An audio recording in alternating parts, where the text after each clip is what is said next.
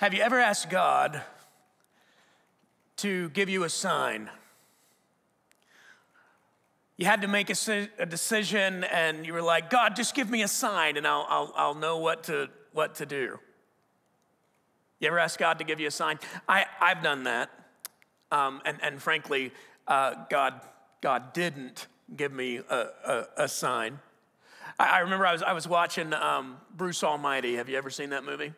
With uh, Jim, Jim Carrey.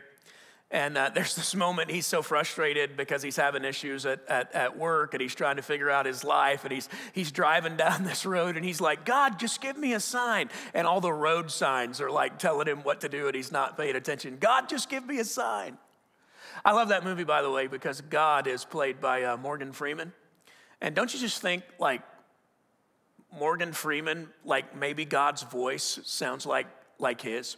I, I used to think maybe God's voice sounded like uh, James Earl Jones, but then I realized that James Earl Jones is Darth Vader in Star Wars, and so that, that didn't that didn't work. And then I was, I was actually talking to a guy, and he reminded me that James Earl Jones is also the voice of Mufasa on The Lion King. So that works. But at the end of the day, Morgan Freeman, voice is a little calmer. You know, maybe God's voice sounds like, like that. But have you ever asked God for a, a, a sign? Like, like you really needed direction and have you ever wondered why doesn't God just like pull back, you know, the clouds and like stick his face in the bowl that is our reality and just let us know that he's there? Have you ever wondered why God doesn't doesn't do that? Uh, why doesn't God reveal himself in like these big ways? Give me a sign, show me your face, you know, audibly speak to me. Why, why, why doesn't God, why doesn't God do that?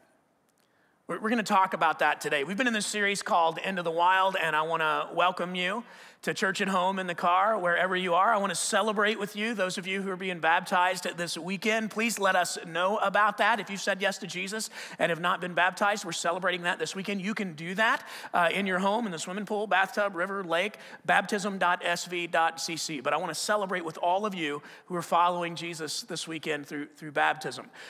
Why doesn't God give us a sign? Why doesn't He just speak audibly? Why didn't He just make Himself known in, in supernatural ways like that? In the series Into the Wild, we've been looking at the life of Elijah, and today we're in 1 Kings chapter 19, picking up where we left off last weekend. Here's what's going on with Elijah. He's experienced amazing miracles. I mean, he has seen God do some supernatural things. Like fire from heaven, he prays over this boy. This boy comes back to life. Elijah was fed by ravens by a river. They would bring him meat and bread in the morning and in the evening. Elijah has seen some amazing things, but he's exhausted, he's tired, he runs, he forgets God. God leads him to a place. It's the mountain of God. It's, it's Horeb, and Elijah's in a cave. And, and that cave, I talked about it last week. It's, it's almost like, if we use it as a metaphor, a darkness of our mind where, where we get sometimes. And, and God speaks to Elijah and begins to draw him out of, of that cave. Pick up with me here in 1 Kings chapter 19, beginning in verse 9. It says there, that's Elijah. There, Elijah went into a cave and spent the night. He's at Horeb, the mountain of God. And the word of the Lord came to him. This is while he's still in the dark while he's still in the cave. And God says to Elijah, basically, why are you running? What are you doing here, Elijah? And Elijah replies, I've been very zealous for the Lord God Almighty.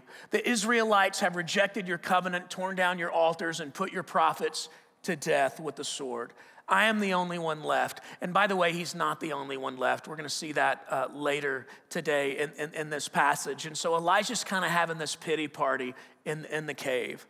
I am the only one left, and now they're trying to kill me too.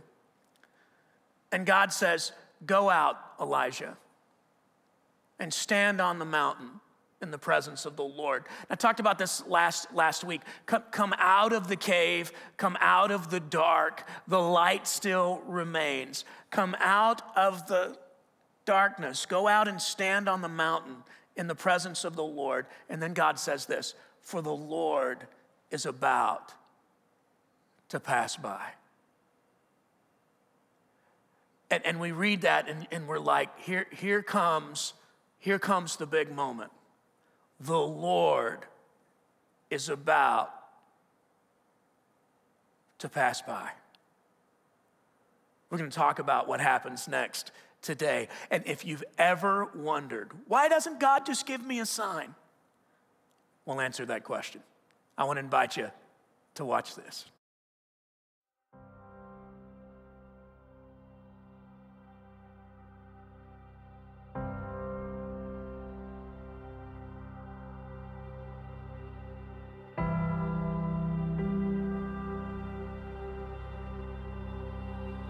Has there ever been a time in your life when you wanted God to give you a sign?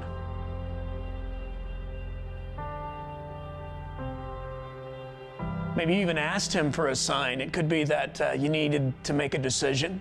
Should I take this job? Should I not take this job? Should I marry this person? Should I not marry this person? God, give me a sign of what you want me to do.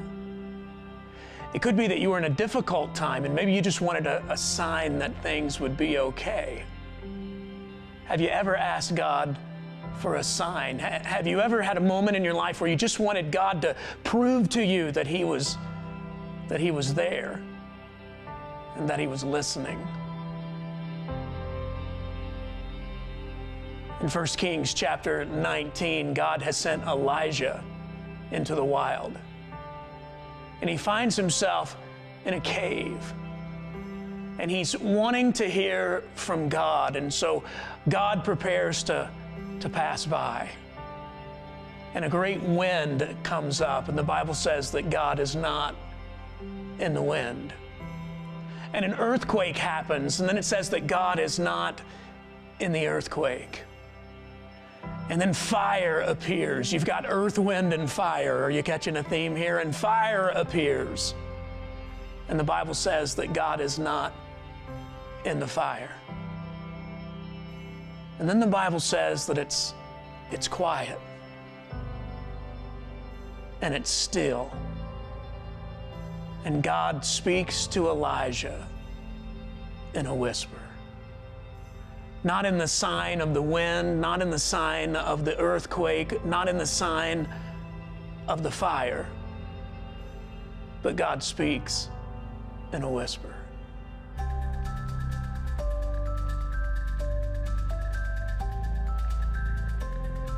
Why would God do that? And why is that in the scriptures? And why doesn't God just give us a sign? Why does He whisper? Why is he in the stillness? I'll tell you why. It's because he's close.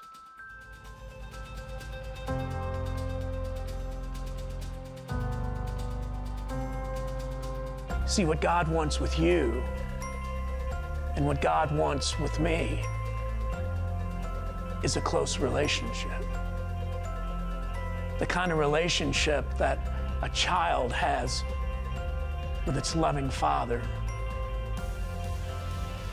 God wants an intimate relationship with us. And intimate relationships aren't found in the noise, but in quiet, intimate conversation.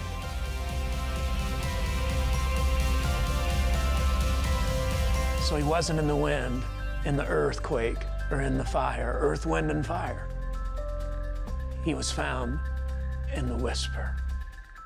And it's in the silence where we hear his voice.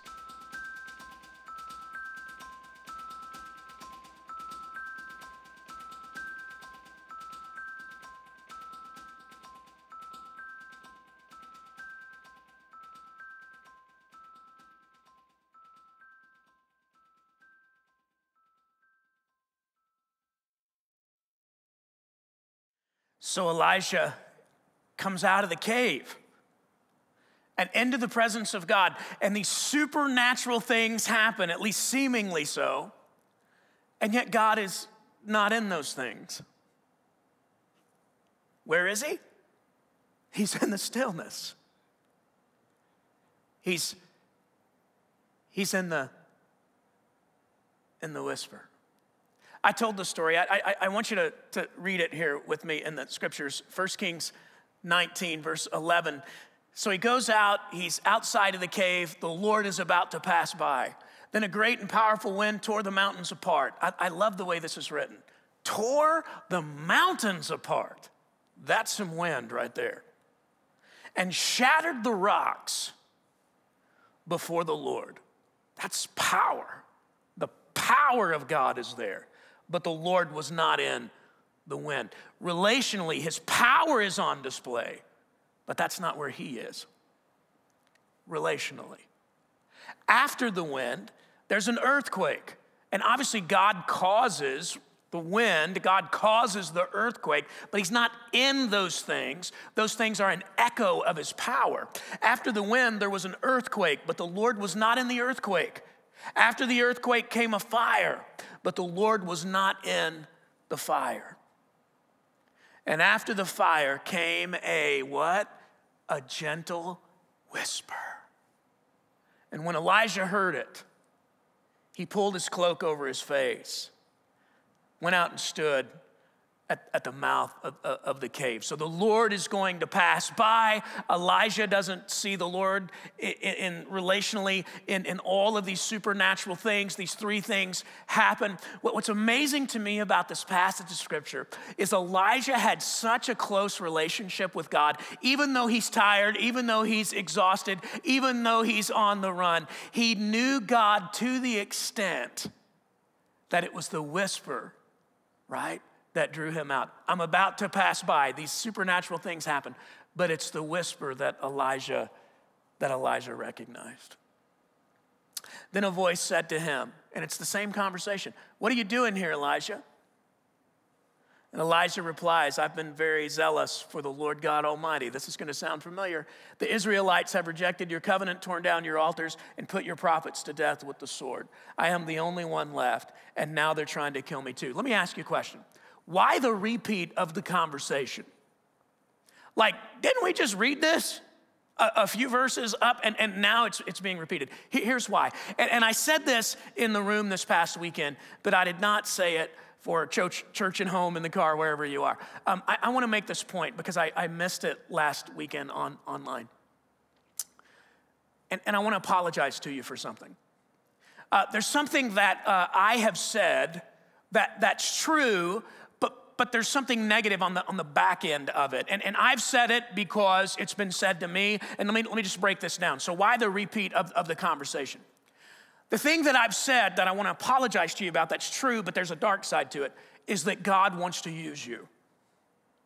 And that's true. God does want to use your life. He designed you, He crafted you for, for a certain purpose. And in fact, for lots of different reasons. You're you because God designed you and you're wonderfully made. But here's the thing when we say God wants to use you, we're also communicating something that's negative. For example, I use a fork when I eat, right? But when I'm done with the fork, what do I do? Discard it. I don't think about it, I don't care about it until it's time to use the fork again. Uh, this is not how God feels about you or, or me. You are not something that God just wants to use. You are someone that God deeply, deeply loves. Why the repeat of the conversation? Because God loves Elijah. He doesn't just want to use Elijah, he, he loves Elijah. And so, in this whole interaction, there's, there's all kinds of patience. I mean, last week we, we, we talked about it. You know, the angel uh, makes angel food cake, right? For, for Elijah, and, and just tells him to, to eat and, and rest. The angel doesn't preach him a sermon. Why? Because God loves, loves Elijah. By the way, I'll give you a little, little preacher bonus. Uh, last week, when we read that passage, it said that the angel of the Lord was, was caring for Elijah.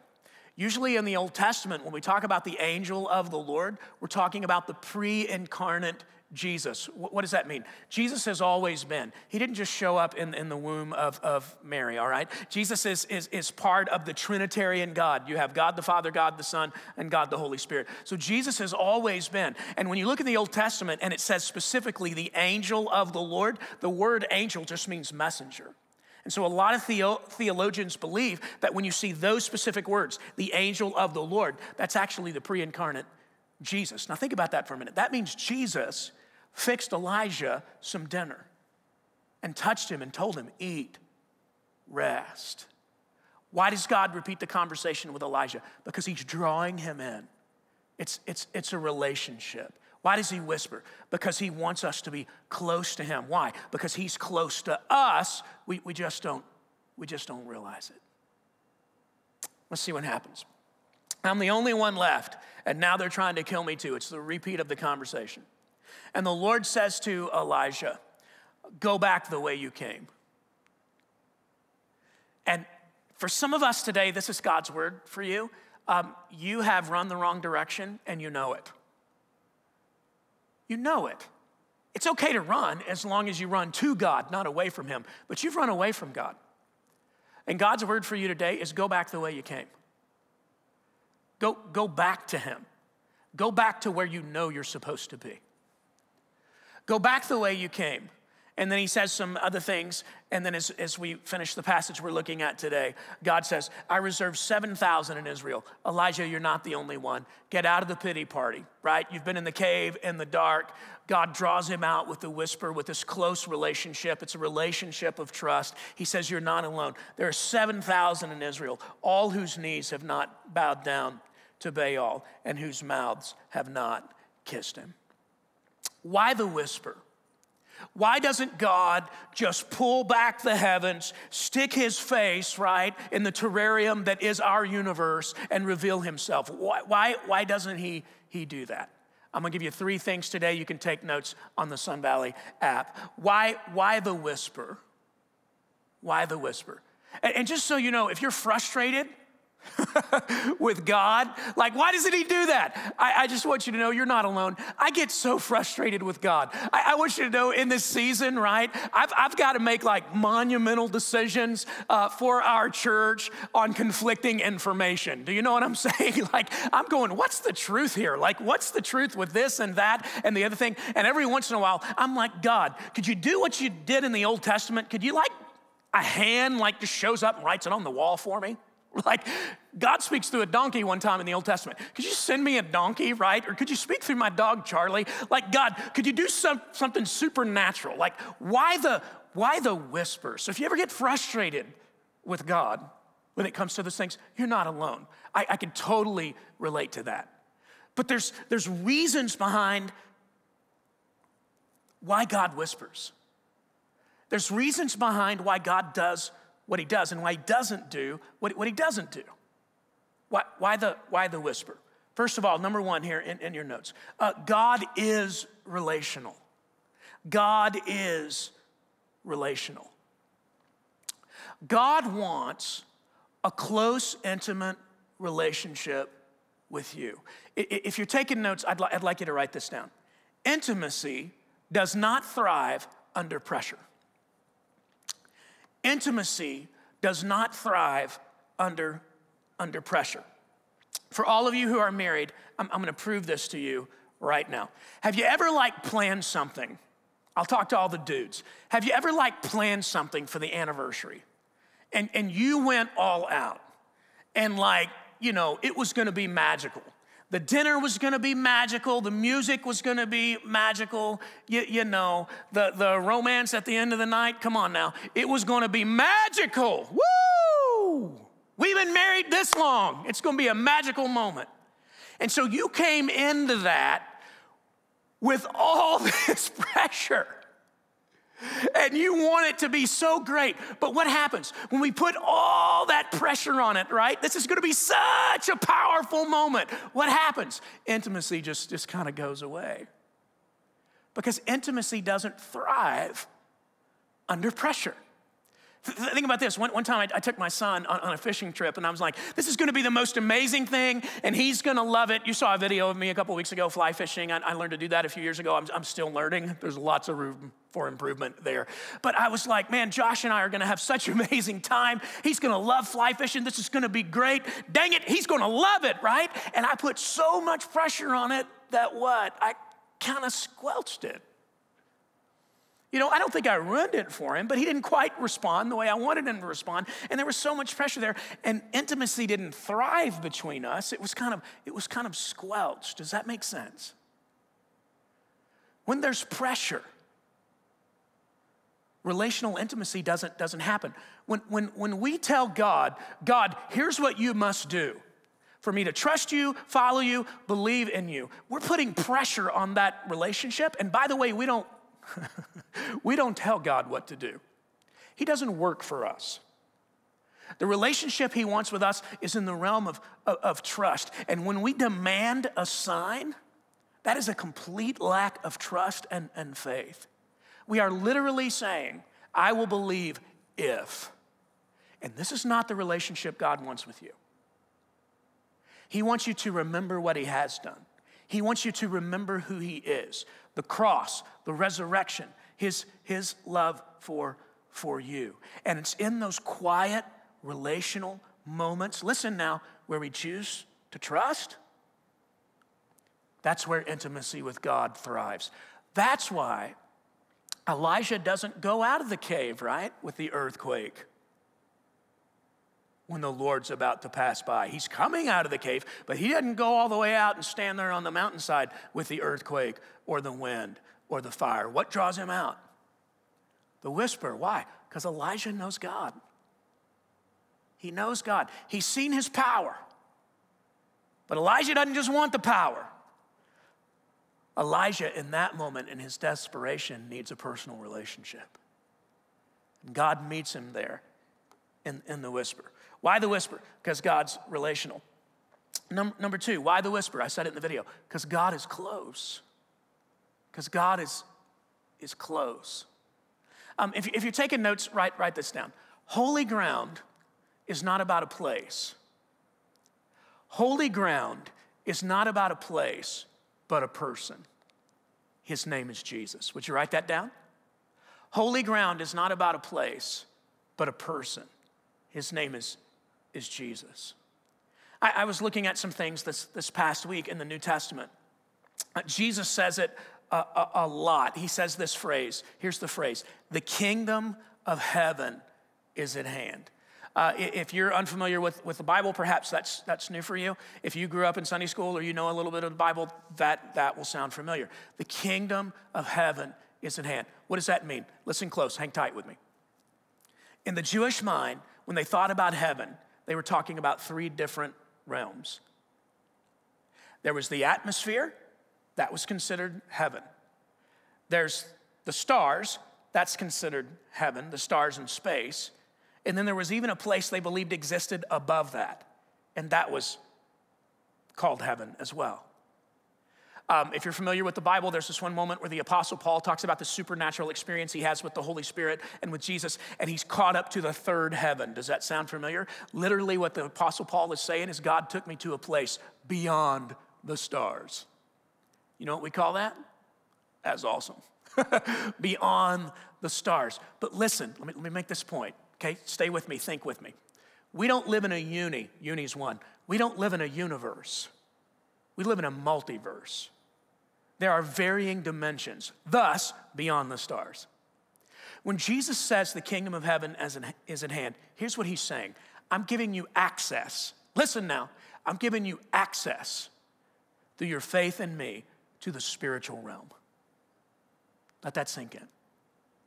I'm giving you access to something that exists in the atmosphere that you at this moment, without faith in me, do not have access to. In and through our faith in Jesus, listen, holy ground is anywhere we give God our attention. Why? Because if you said yes to Jesus, the Holy Spirit has, has moved in, literally into your mortal body, which means your antenna is connected to the spiritual network where, where God r- resides. You can experience His presence right now, in the here and now. A ton of us think Christianity is about the hereafter, heaven and hell. It includes that, but it is primarily about right now. Christianity is about right now. Your relationship with God is about right now. God wants you to experience His presence right now. His power is available right now.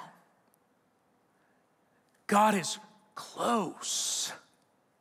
That's why he whispers. He's right here. Holy ground's not about a place, it's about a person. And he's wanting you and I, listen, to turn our face in his direction. What does that mean? Just give him our attention. This is why I've been teaching you to pray. You know, come, Holy Spirit, lift your palms to heaven. Come, Holy Spirit, and in the stillness, let God minister to you.